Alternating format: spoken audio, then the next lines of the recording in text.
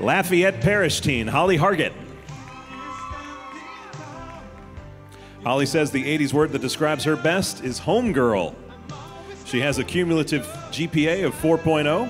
She was voted most likely to succeed by her student body, and she is fascinated by the French language, and she's received multiple language awards.